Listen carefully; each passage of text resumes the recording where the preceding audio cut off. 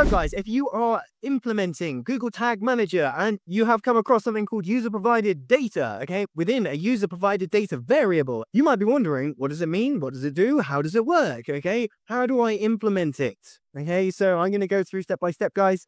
So by the end of today, you know exactly what you need to do. What's going on gang? It's your boy, Jerry the Ad Wizard, coming back at you with a brand new video. And today, we're going to be looking at something known as user-provided data variables. Okay, if you don't know how to add this into your Google Tag Manager and you're a little bit stuck in this setting, how do we set it up? How does it work? What does it even mean? So I'm going to show exactly what you need to do and exactly how to implement it in Google Tag Manager so that you can get the best out of your conversions in Google Tag Manager and the best out of enhanced conversions. So stick around, guys. We're going to get into it today. So guys, grab your coffees and grab your hats. It's time to spin out some ad magic.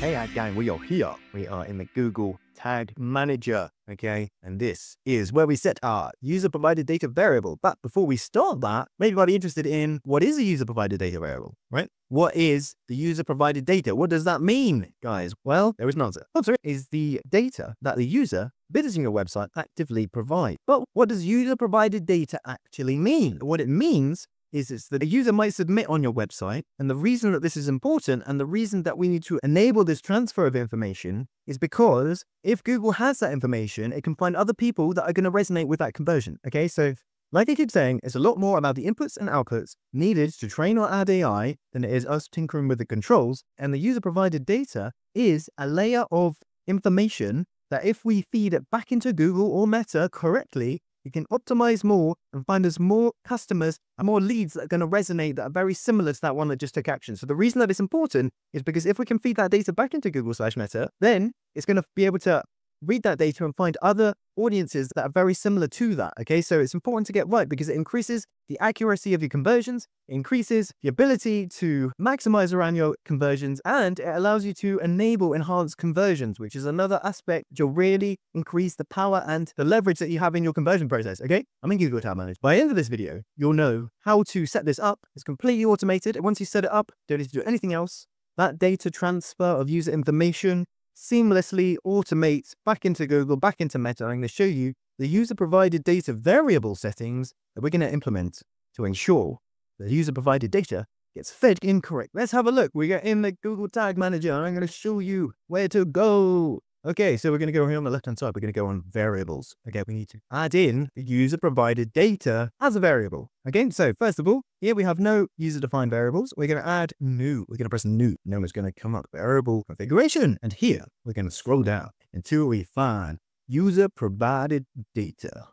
Okay, which is right here. Towards the bottom, it is under the utilities section. You can scroll down here. You can press user-provided data. Okay, then now we're going to rename it user provided data variable, and then we're going to add in some settings, guys, because within the user provided data variable. Okay, guys, but before we go anywhere else, and you're new here, don't forget to hit that like and subscribe. Don't forget to hit that notification bell so you never miss any more important updates. We have many times a week to bring business owners online advertisers and digital marketeers the best from their online advertising, paid media, and digital marketing strategies. But without further ado, let's get on with the video.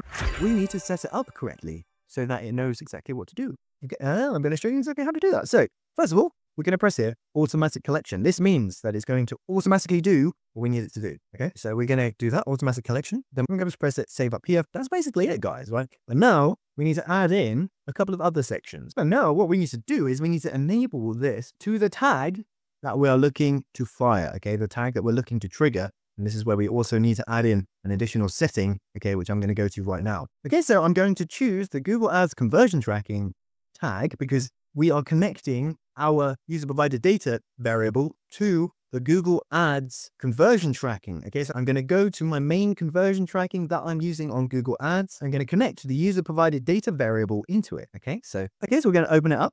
Here we go. And what we're going to do, we're going to scroll down in the tag configuration settings. We're going to press here. Include user provided data from your website. You're going to check this box. It's going to say user provided data?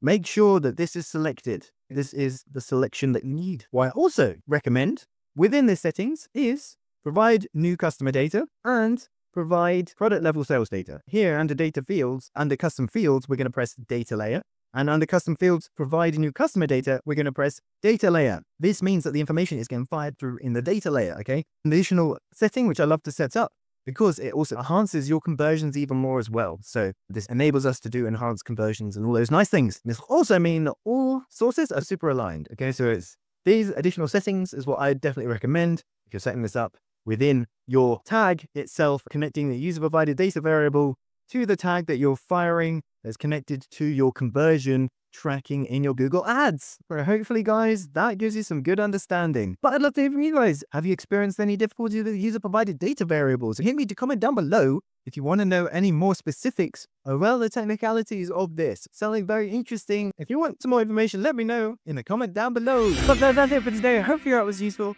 Hopefully now you have a very good understanding as to what a user-provided data variable is, where to add that variable into Google Tag Manager, and you have the best practice to enable enhanced conversions to ensure that all the conversions that are coming through are as awesome as they can be with your ads. Thank you so much for all the support and all the love. I appreciate every single one of you so much. We are here many times a week, so don't forget to hit that like and subscribe so you don't miss any more important updates. I'm Jerry the Ad Wizard. You can find me at Jerry on Instagram at Jerry Griffiths on LinkedIn and at Jerry Dreadlocks everywhere else. Thank you so much for watching and thank you so much for being here. I'm your boy Jerry the Ad Wizard. If you want to watch a how-to to understand how you can set up lead conversion tracking with Google Tag Manager, okay, click this video up here. I've made a really good how-to video so you know exactly how to track your lead conversions on Google Tag Manager. And wherever you are in the world, I bid you peace, love, and a wonderful rest of your day.